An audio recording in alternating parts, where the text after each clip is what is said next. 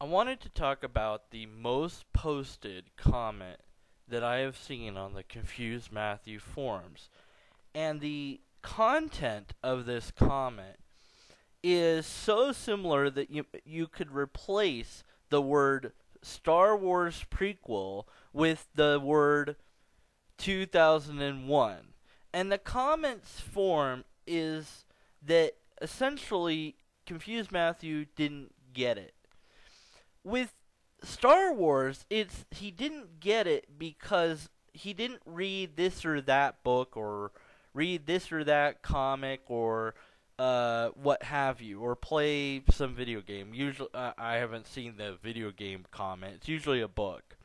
For 2001, it's you didn't get it because uh, you know you didn't understand the symbolism. You should read this lengthy article about the movie so that you understand it better. Both these comments are so striking because it reveals that people that enjoy a film will defend their enjoyment of the film in the most ludicrous way that you could. Look, you should never have to read a book or a comic or watch a television show to enjoy a movie.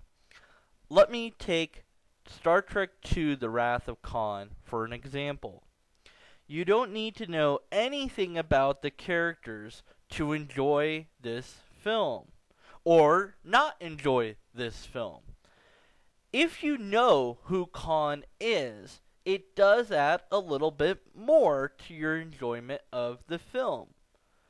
If you don't know who Khan is, it's obvious that he's the bad guy and that you want him to fail let me take another example. Uh, the Two Towers movie. Going in, I all three of those movies, I have not read any of those books. Yet I enjoyed all three movies for what they were. I thought they were fairly long, but I still enjoyed the characters. I wanted to see the, them succeed, and I wanted to see how they succeeded and the resolution to it. I didn't really understand all of it, but I enjoyed it. Everybody did something, and everybody's character was well defined. Had I read the books, my enjoyment might have been more.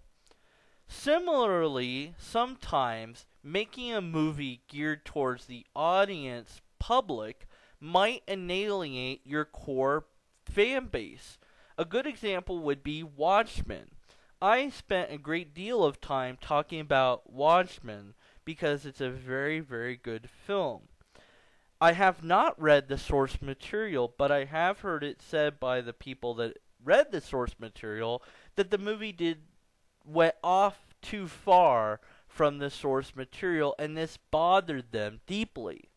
I understand. The Chronicles of Narnia are a good example for me to use the first movie is very close to the source material, the Disney version, that is. Um, the original BBC version that was produced is actually closer to the source material than the Disney one. There isn't a scene in the book when they cross a frozen uh, river. That's added in. I don't know why they added it in. I guess they just wanted some more action. But I forgave that scene because the movie was well done, and I realized that they were reaching out to a larger audience with this movie.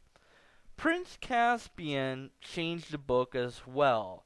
They added in a romance with Susan and Prince Caspian that is not in the original book. It's only hinted at in a later book in The Voyage of the Dawn Treader when Prince Caspian, as a very old man, mentions that he regrets, uh, or not a very old man, but as an older man, mentions that he regrets not um, courting Susan or something of this nature. It's a, it's a one line thing that is, it's just so. Uh, it's really towards the end, and it's like almost a throwaway line, really.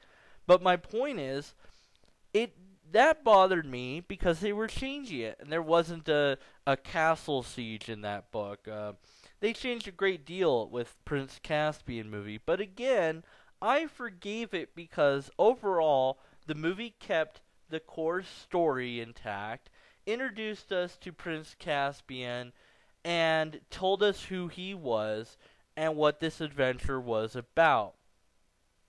The bridge wasn't in the movie, building the bridge wasn't in the movie, but they added that in so that there was a timer. There was a feeling of uh, when they complete this, something bad is going to happen.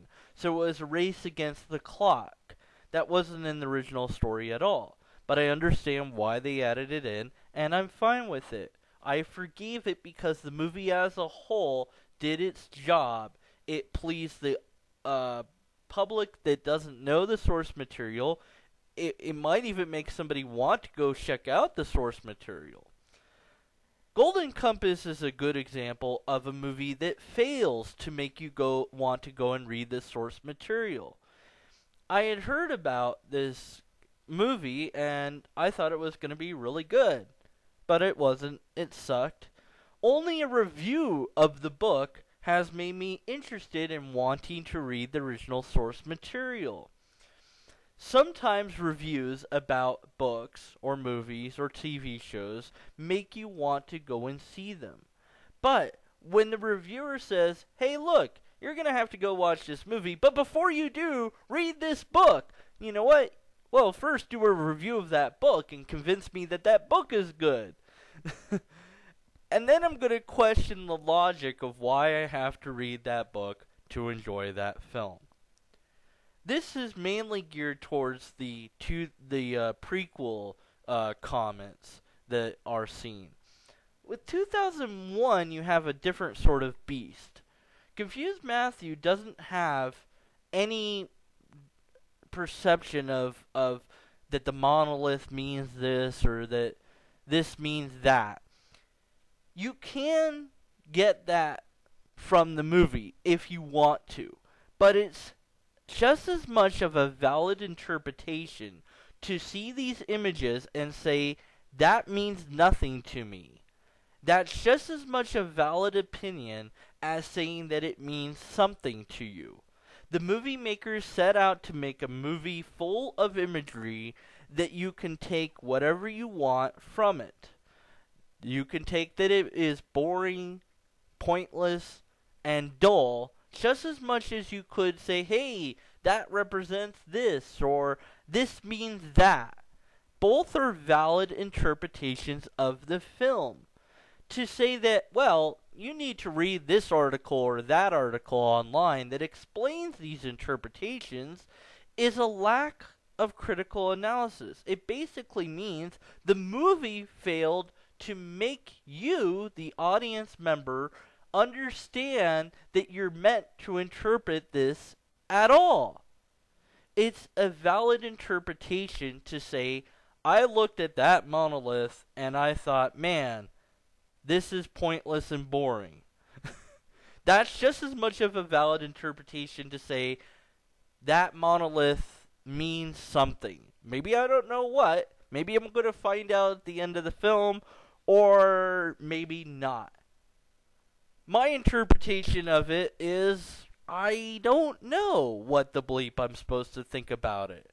My interpretation is I wish this movie was a lot shorter. And maybe if it was shorter, I would enjoy the movie more. But what about the monolith or HAL 9000 or this or that? What do they mean? They mean whatever you make them to mean. That's what you're supposed to do. You're supposed to say, this means X to me. If you decide that this means nothing to you, that's just as valid as saying that this means something to you. To say that it must mean something means that the filmmakers failed to make you realize that you're supposed to interpret these things at all. So, maybe the filmmakers set out to make them ambiguous. Even so ambiguous to the point that somebody is going to walk away saying that it means nothing to them. And that's just as valid because that's if that is what the filmmakers intended, then it's a valid response. That's all I got for you. Take care. Peace out.